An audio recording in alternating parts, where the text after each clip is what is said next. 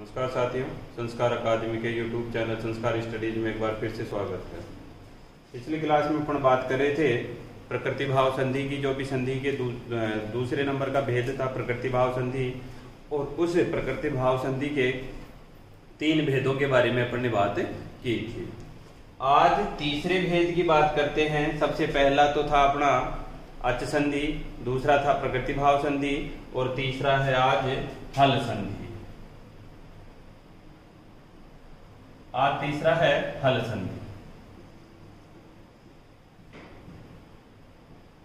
अब इसके कितने भेद होते हैं वो भी अपन ज़िक्र करेंगे। ये सारे भेदों में मूल रूप से जो मूल संधियाँ हैं वो अलग अलग भेदों में डिवाइड है। तो इसके भेदों के बारे में भी बात करेंगे। पहले बताते हैं कि हल होता क्या है। यहाँ देखो, हल में लिखा है है और ल। जब माहेश्वरी सूत्रों की अपन बात करते हैं, इनकी माहेश्वरी सूत्रों की तो वहाँ ये चलता है है वरट लण, यमगणनम, फिर उसके बाद में सर और लास्ट में हल। तो यहाँ है से लेकर के और लय पर्यंत तक के वर्णों को अपन ग्रहण कर लिया, अर्थात सारे व्यंजन। स्वरों को छोड़ करके सारे व्यंजन यहाँ आ गए, इसीलिए इसका नाम क्या रखा? हल। इस हल संधि का दूसरा नाम होता है व्यंजन संधि। क्या होता है? व्यंजन संधि। क्योंकि यहाँ हल में संपूर्ण व्यंजन ही आते हैं, इसलिए इसको क्या कहेंगे? व्यंजन संधि। चाहे से हल संधि मानो, चाहे से व्यंजन संधि मानो। अब समस्या है कि हल संधि होती क्या है? तो अपन सीधा सीधा कह सकते हैं कि जहाँ पर। जहाँ पर दो व्यंजन वर्ण या एक व्यंजन तथा एक स्वर का मेल हो, तथा उससे कोई विकार उत्पन्न हो। उसे ही, क्या कहते हैं? व्यंजन संधि कहा जाता है। व्यंजन संधि कहा जाता है। इसे कहा जाता है जहाँ पर या तो दो व्यंजन आपस में मिले और या फिर एक व्यंजन और एक स्वर आपस में मिले तो निश्चित रूप से उसे क्या कहेंगे? व्यंजन संधि कहेंगे। अब यहाँ समस्या होती है कि प्लस से पहले और बाद में व्यंजन होंगे या फिर एक व्यंजन, एक स्वर होगा, दोनों स्वर नहीं हो सकते, क्योंकि वो तो फिर कौन सी? अच संधि हो जाएगी, ठीक है? अब इसके भेदों के बारे में बात करते हैं। मुख्य रूप से तो इसके जो टेंथ लेवल तक होता है, या अपन कहे कि जो रिट लेवल होता है, इसके मुख्य रूप से तो पाँच ही भेद काम में आते हैं। वैसे इसके मूल रूप से भेद होते हैं बारह, तेरह, चौदह तक। कितने तक है? बारह या फिर तेरह। बारह, तेरह भेद लगभग इसके होते हैं। अब इनको अपन तीन भागों में विभक्त करते हैं इन भेदों को, व्यंजन संधि के भेदों को। कितने भागों में? तीन भागों में। एक होता है सबसे पहले, ये वाला पार्ट, फिर होता है ये वाला पार्ट, फिर होता है ये वाला। ठीक है? यहाँ देख लेते हैं एक बार।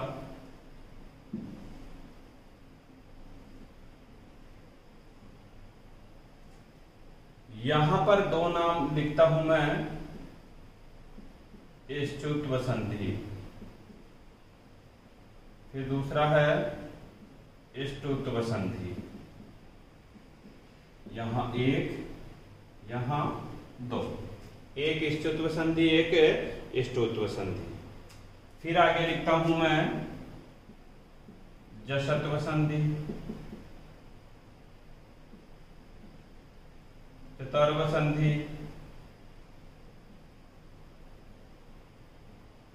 अनुस्वार संधि। फिर है यहाँ पर जसत्व, चर्तव और अनुस्वार। मूल रूप से तो यही संधियाँ काम में आती है। मूल रूप से तो यही संधियाँ काम में आती है अपने रीड लेवल में। लेकिन थोड़ा सा नॉलेज के लिए बता दूँ आपको कि थोड़ी सी संधियाँ आगे भी है, इसके और भी भेद है, उनका भी बात कर लेते हैं अपन। यहाँ पर जब भी अपन बात करते हैं, ये हो गया अनुस्वार संधि। अनुस्वार संधि के बाद में है अपने पास है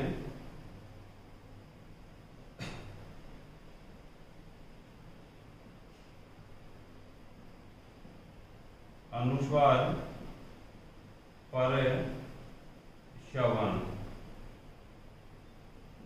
संधि। अनुस्वार संधि, अनुस्वार पर श्रवण संधि। ठीक है? फिर यहाँ लिखते हैं पूर्व श्रवण फिर यहाँ लिखते हैं पर श्रवण संधि। फिर लिखते हैं छत्व संधि। फिर यहाँ लिखते हैं अपन दस नंबर पे गमुडागम संधि। ऐसे मानो ये विशेष यहाँ रखा गया है।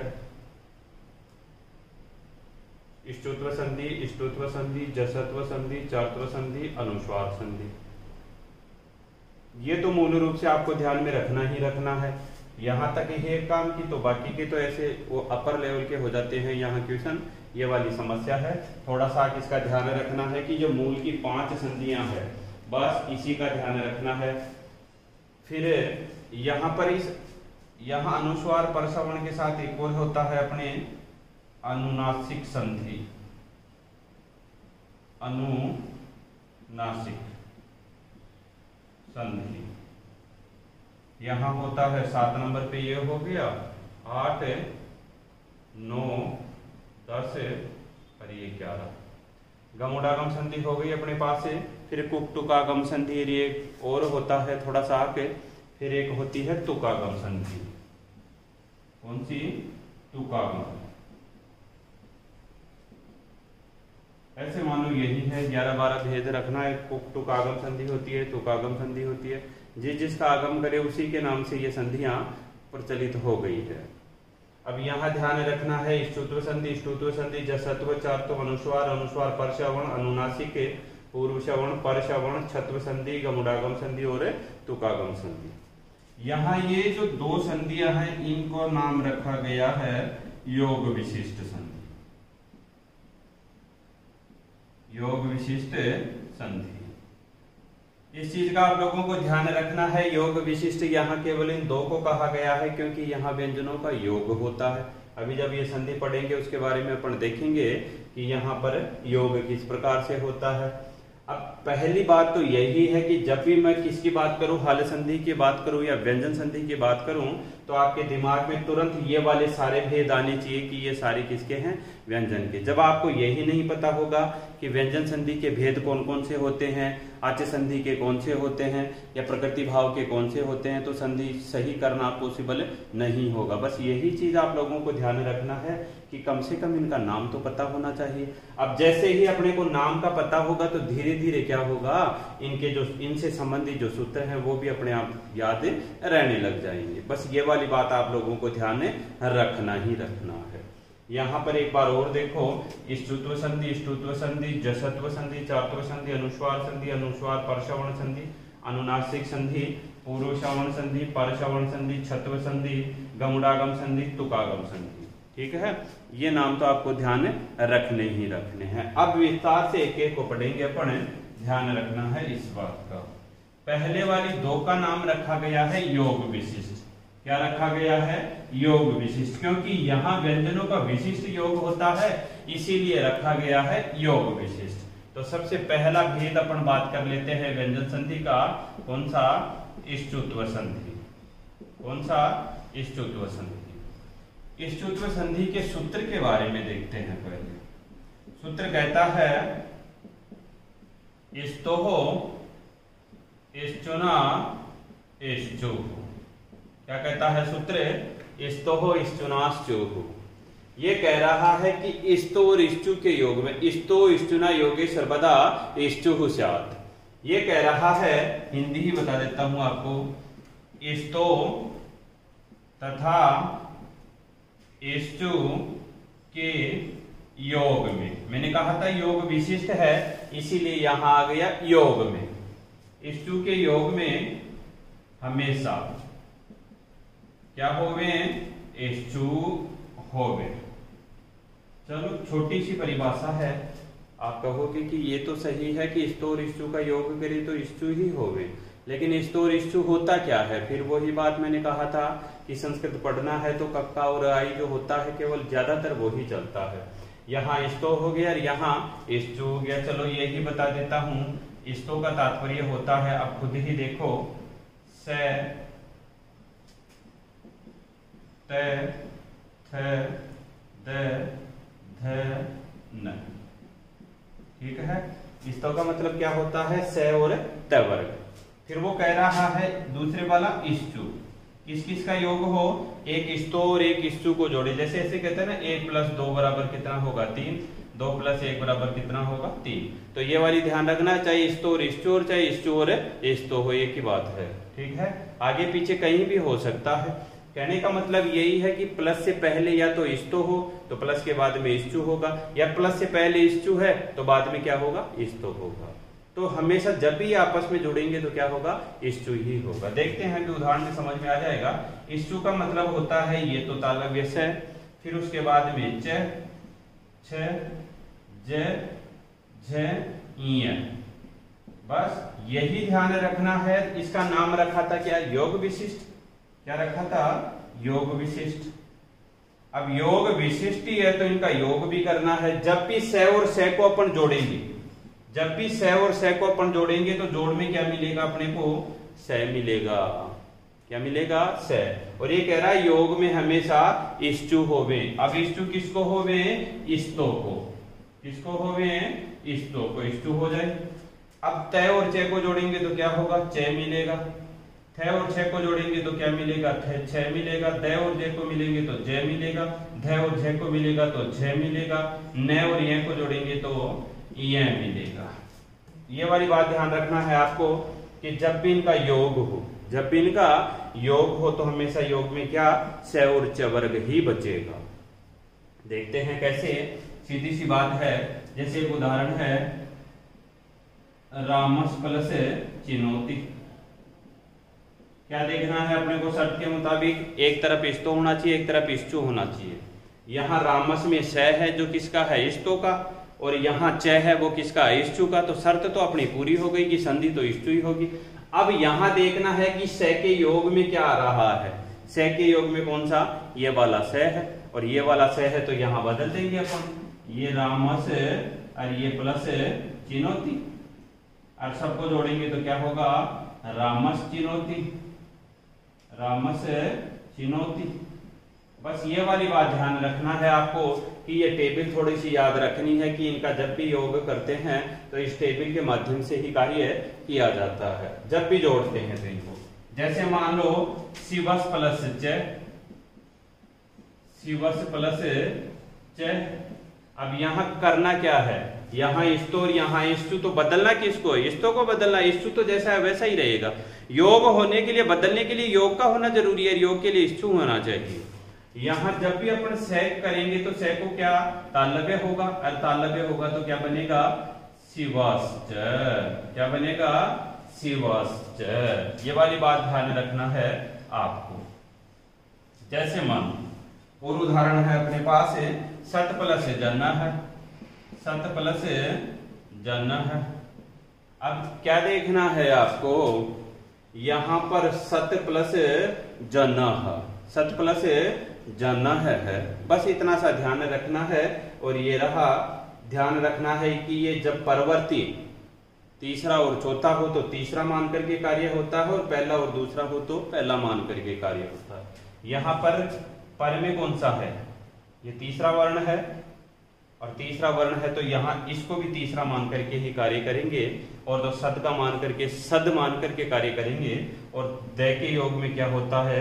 जय होता है, और ये बन गया सज्जन। क्या बनेगा? सज्जन। ध्यान रखना, इस तय और दय का डिसीज़न करने के लिए प्रवृत्ति अंक बहुत महत्वपूर्ण होता है, भगवान। यहाँ पर इतना ही देखना है, तीसरा, चौथा, पांचवा है तो इसको तीसरा मानेंगे। यहाँ पर पहला, दूसरा है तो इसको पहला मान के काम करेंगे। हो कोई सा भी, उससे कोई फ़र्क नहीं। जैसे मान लो अपने पास है तद प्लस तद प्लस यहाँ तय के योग में क्या है? आप खुद ही देखो। जय है और जय है तो क्या होगा? यहाँ पर है। लेकिन यहाँ देखेंगे अपन कौन सा वर्ण है। यहाँ पर प्रथम वर्ण है तो इसको भी कौन सा मानेंगे? पहला वाला मान करके ही काम करेंगे और पहला मानेंगे तो ये तत् होता है और तत् की जगह क्या होगा? चय और ये रूप बनेगा तच क्या बनेगा? तच फिर जैसे मान लो सत प्लस छात्र, सत प्लस छात्र। अब इसको पहला ही मान के काम करेंगे और तय को क्या करेंगे? चेक करेंगे, चेक करते ही क्या होगा? सत छात्र।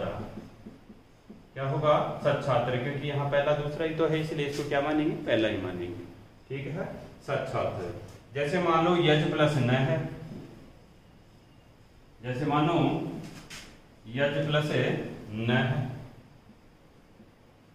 यज प्लस न। अब ध्यान रखना, मैंने कहा था कि इस तो और इसको आगे पीछे हो सकता है। हो जाने तो कोई बात नहीं। और यहाँ पर मैंने न और ये के योग में क्या लिखा था? ये बनाया था। ये बनाते ही स्थिति होगी यज प्लस यह। और फिर जब ये ऐसे वाली कंडीशन होगी तो जय और यह संयुक्त होता है। संयुक्त वर्ण होता है और रूप बनेगा यज्ञ। क्या बनेगा? यज्ञ है। ध्यान रखना है इस बात का। जैसे मानो सार्गिन प्लस जया यहाँ न है और न के योग में क्या करना है? यह करना है, बस और कुछ नहीं करना।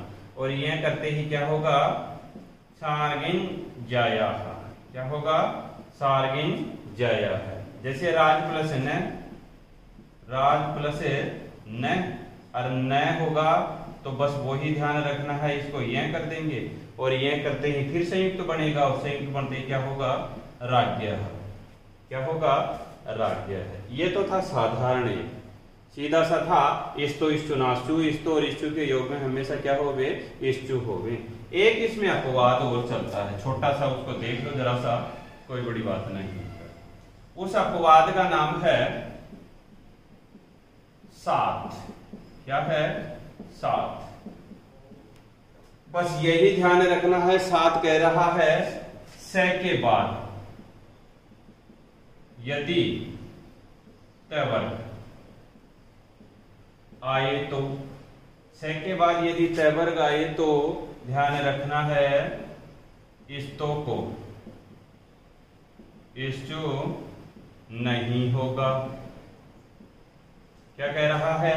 अगर से, तालव्य से के बाद में अगर तैवर्ग आ गया ना तो इस्तो को इष्टु नहीं होगा। जैसे मान लो, विष प्लस न है। यहाँ शर्त तो है कि ये तो रहा इष्टु ये रहा इस तो बदलना चाहिए ना, लेकिन नहीं बदलेगा क्योंकि शर्त क्या कह रही है? से के बाद में अगर तय वर्ग हुआ तो। अगर नहीं बदलेगा तो जैसा है वैसे की वैसे ही रहेगा। विष्ण जैसे मान लो प्रश प्लस न है प्रश प्लस न है वही कंडीशन हो गई से के बाद में तय वर्ग है। तो जैसा है, वैसा का वैसा प्रश्न जैसे मान लो, जस प्लस त्वम यहाँ ये रहा इष्टु ये रहा, इस तो लेकिन ये से के बाद में है तो जैसा है, वैसे की वैसे ही रहेगा जसत्वम कैसा रहेगा? जसत्वम बस यही चीज़ें ध्यान रखना है आपको। कि ये थोड़ा सा किसका? डिले नहीं हो। जैसे मान लो, अस प्लस नित्यम, अस प्लस नित्यम। यहाँ करना क्या है अपने को? सीधा सीधा देखना है अस प्लस नित्यम में कि पूर्व में क्या है? स है। पूर्व में क्या है? स है। और उसके बाद में क्या है? तवर्ग है। ऐसे वाली कंडीशन में अपन क्या करेंगे? इसको बदलेंगे नहीं। जैसा है वैसे की वैसे ही रहेगा तो ये रहा अपना अश्नित्यम क्या रहा? असनित्यम बस यही चीज़ ध्यान रखना है आपको कि इष्टो इष्टु ना इष्टु कह रहा, इष्टो और इष्टु के योग में सब हमेशा इष्टु होवे और यहाँ साथ कह रहा है कि अगर ऐसे वाली कंडीशन हुई तो अपने को कुछ नहीं करना है। नेक्स्ट बात करेंगे आगे की क्लास में। धन्यवाद।